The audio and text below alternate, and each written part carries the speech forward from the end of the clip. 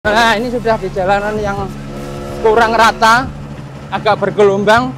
Uh, memang terus terang bantingannya lebih keras daripada dan selanjutnya adalah yang saya komentari ini tentang harga oh ya kalau harga nanti dulu di bagian akhir di hadapan saya ini sudah ada satu paket paket yang dikirim dari KTC Kitako. Kitako KYTACO ini dari Gria Utama Blok A 3839 Sunter Jakarta Utara. Ini nanti akan saya unboxing dulu karena paket baru kemarin datang nyampe di Arisaya Motor Blitar.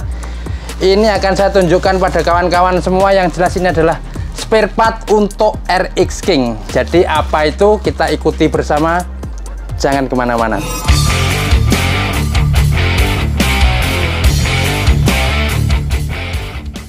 langsung saja. Saya akan unboxing di hadapan kawan-kawan semua ini paket dari KTC nah, ini ya. Ini isinya apa? Ya seperti ini.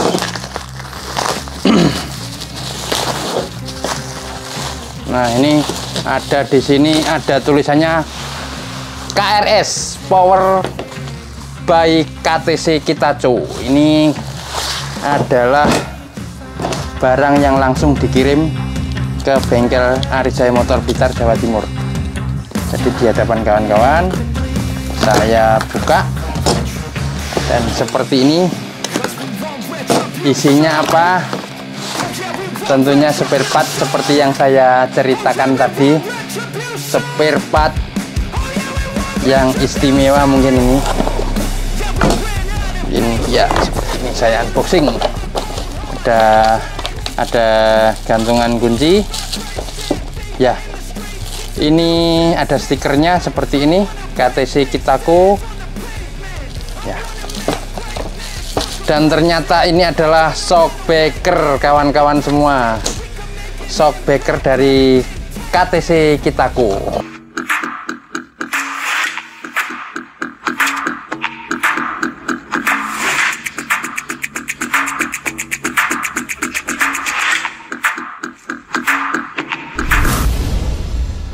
dan yang saya pegang ini adalah dual suspension RX King KRS Ares.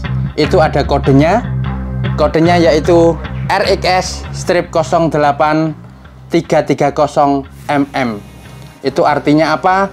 Di belakang nanti akan kita bahas bersama. Dan yang menarik sekali yaitu slogan dari produk ini adalah terjangkau dan pasti beda. Dan semakin terasa bedanya. Istimewa itu adalah slogan dari produk di depan kawan-kawan semua ini. Jadi nanti kita akan mengulas lebih lanjut lebih detail.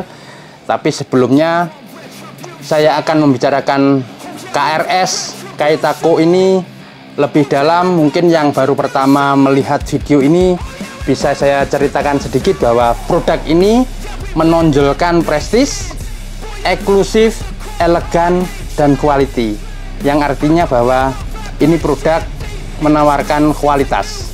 KRS KTC Kaitaku ini adalah brand aksesoris dan spare part aftermarket. Jadi akan saya ceritakan sedikit mungkin yang baru pertama kali melihat video ini ya. Jadi brand ini berdiri sejak tahun 1995 itu didirikan oleh Koh Awi. Jadi brand ini adalah asal Indonesia tapi produksinya ada di Taiwan nanti akan tersedia dalam beberapa varian aksesoris electrical braking system engine dan fuel system. Jadi bermacam varian. Keunikan dan ciri khas dari tipe produk ini adalah namanya yaitu Ares anak racing. Jadi mungkin kawan-kawan semua yang masih punya jiwa muda punya jiwa racing mungkin produk ini nantinya akan cocok untuk kawan-kawan semuanya. KRS KTC Kitako menyebutkan bahwa produk ini bergaransi terjangkau dan pasti beda. Aman dan nyaman saat berkendara. Jadi kalau sudah ada penyebutan bergaransi tadi kita itu berkendara terasa aman dan nyaman. Untuk kualitasnya bagaimana? Kualitas material skok ini menggunakan material terbaik. Jadi kualitas bisa bersaing dengan brand internasional. Oke kawan-kawan nanti kita akan membahas lebih jauh skok ini bagaimana dual suspension ini bagaimana serta spesifikasi secara detail bagaimana. Jangan ke mana-mana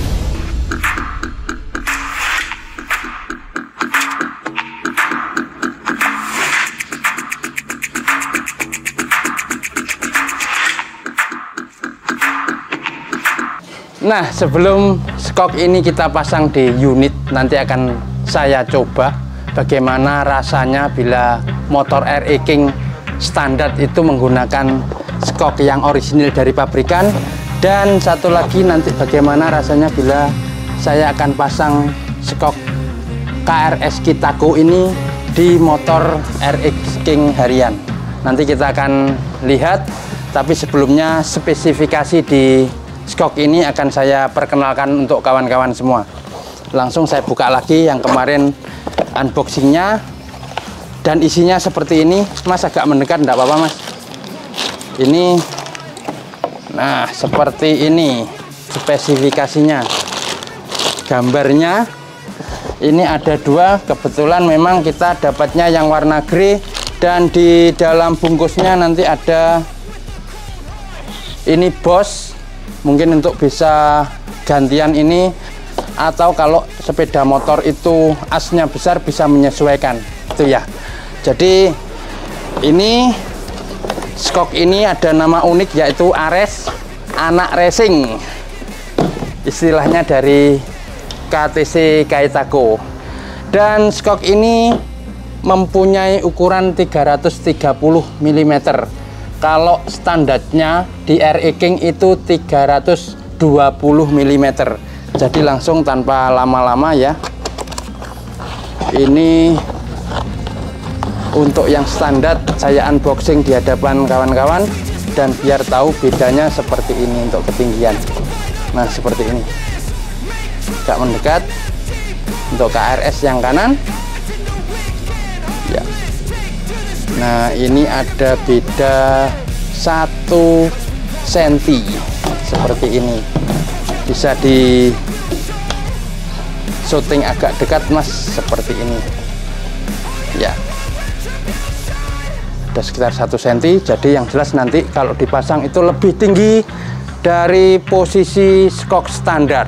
Dan untuk skok ini memiliki teknologi yang dapat diatur sesuai kebutuhan yaitu namanya spring preload untuk mengatur tingkat kekerasan shock absorber melalui spring. Jadi seperti ini. Yang dimaksud nah, spring absorber itu nah, diatur nanti kalau naik ke atas semakin keras dan ke bawah begini semakin lentur gitu ya Nah, untuk selanjutnya adalah diameter batang. Suspensi dibuat lebih besar sehingga lebih kokoh saat menerima beban. Skok ini dirancang memang lebih besar, ya penampakannya seperti itu kalau yang KRS begini agak besar memang penampakannya kalau yang standar seperti ini. Oke. Jadi seperti itu diameter batang suspensi dibuat lebih besar sehingga lebih kokoh saat menerima beban. Yang ketiga dudukan skok bermaterialkan CNC CNC lebih kuat dalam menerima getaran dan beban motor. Ini memang dibuat dari CNC seperti ini ya. Pengerjaannya rapi. Memang rapi. CNC anak muda banget ada tulisannya KRS di sini ya ada tulisan KRS di sini. Penampakannya begini. Terus yang atas juga ada kode khususnya yang di sini. Ya yang di sini kelihatan. Seperti ini. Ya tuh. Nah, yang berikutnya menggunakan blader system yang berisi nitrogen untuk membantu proses menekan atau baliknya shock absorber sehingga redaman jadi maksimal. Untuk isinya ini bukan angin biasa. Kalau menurut KTC ini isinya adalah nitrogen. Jadi membuat skok ini nantinya lebih enak menurut KTC seperti itu dan terdapat beberapa varian warna yaitu grey grey seperti ini ada yang kuning dan ada yang merah gitu kan kawan ya jadi spesifikasi singkat seperti ini setelah ini kita akan pasang di unit yuk kita lihat sama-sama.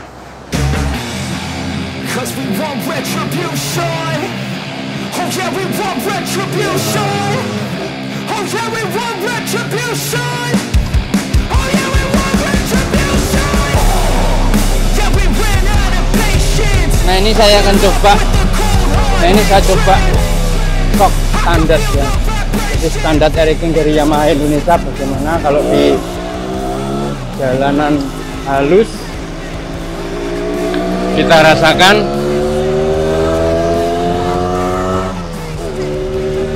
Intinya adalah jalanan tipikal di tempat saya yang mayoritas jalannya kurang enak. Bagaimana? Nanti kita akan bandingkan skok ini skok standar ini dengan skok KTC Kitako.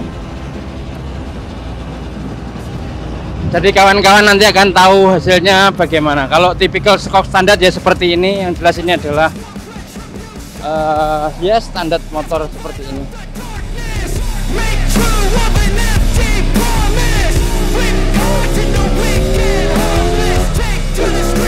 ini kita masuk jalan yang berlubang. Kalau skok standar gerakannya nanti kawan-kawan bisa tahu seperti ini. Ya kas skok standar begini ya. Ya tetap nyaman kalau memang dipakai harian. Memang standar ini sudah banyak yang buktikan enak gitu ya Oh yeah, we want retribution. Oh yeah, we want retribution. Oh yeah, we want retribution. Oh, yeah, we ran out of patience. Boil up with the cold hard hatred. I can feel the vibration. Feet in the streets, it's a new sensation. I wanna break faces on the pavement. I wanna make greatness look complacent. Saatnya. Produk ini skop belakang yang sudah kita pasang ini.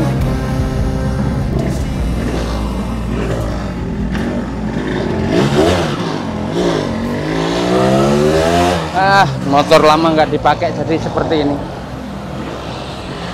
Oke ini kita coba di jalanan yang rata dulu. Hot mix jalanan bagus. Ya jadi belum terasa.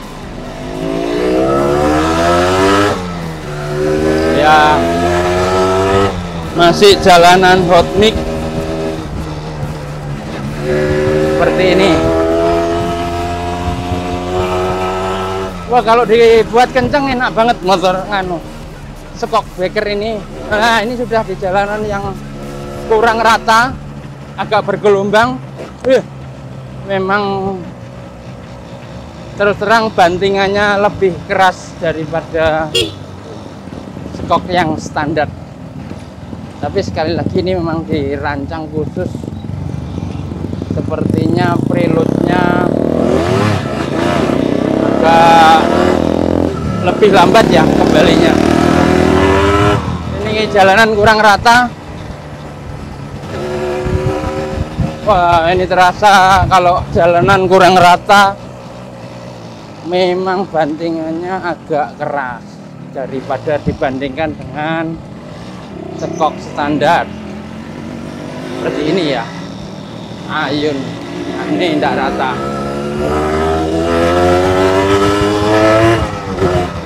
Dan tipikal skok seperti ini memang sepertinya khusus untuk anak-anak yang suka kecepatan tinggi jadi kalau dipakai kecepatan tinggi nih akselerasi itu anteng banget. Makanya cocok banget kalau namanya Ares anak racing. Suka kecepatan tinggi ya. Coba kita akselerasi. Mantap. Stabil banget ini. Kok kalau akselerasi? Oke. ah, mantap. Ya sudah kembali lagi. Nah seperti ini.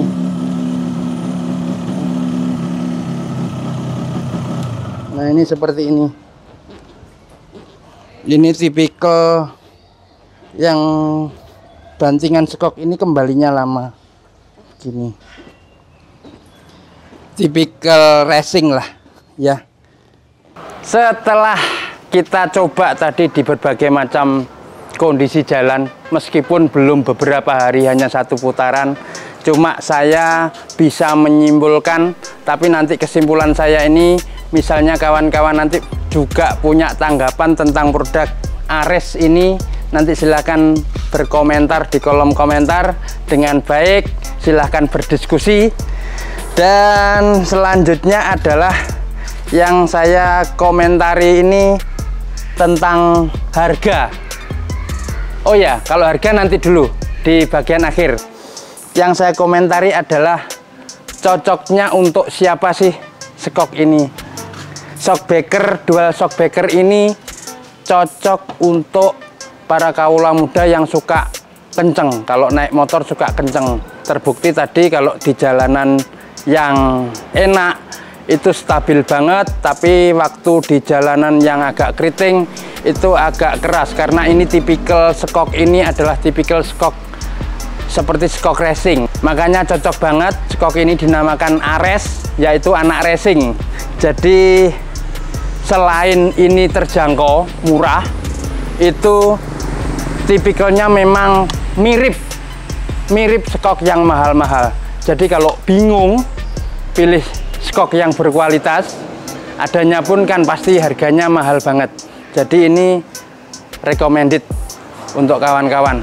Di harga rentang harga di bawah 500.000 sedangkan skok RE King yang orisinil sendiri itu di atas 500.000 di bawah 600.000 dengan demikian kesimpulan saya skok ini cocok untuk alternatif bila kawan-kawan membutuhkan skok yang berkualitas dan dananya di bawah 500.000 tentunya semuanya terserah kawan-kawan nanti langsung follow instagram kita semua link ada di sini Oke, terima kasih. Semoga bermanfaat. Salam sehat dan sukses selalu.